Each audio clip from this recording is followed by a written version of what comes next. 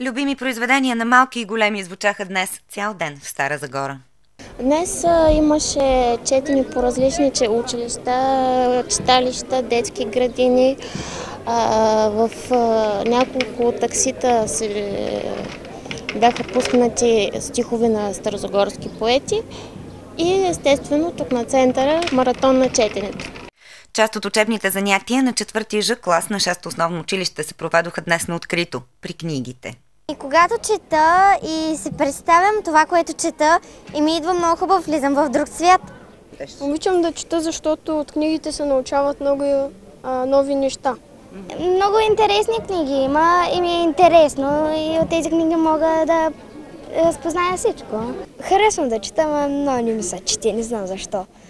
Какво ти се прави? Ами играем се навънка. За празника на книгите децата им пожелаха. Аз бих им пожелала ам, да бъдат по-интересни, не че не са. Интересни са и ми е много забавно докато чета. Пожелавам да, да има повече книги и, вси, и всички деца да си купуват книги и да четат. А защо, а защо е важно? Ами за да се обогатяваме речника. Да се разпространяват още повече и да стават все още интересни. Хората четат и обичат книгите, смята Ваня Христова, която работи в библиотека Родина от една година. Книгата като такава е най-хубавото изживяване. С десетото си издание маратона на четенето вече се превърна в традиционно и очаквано събитие.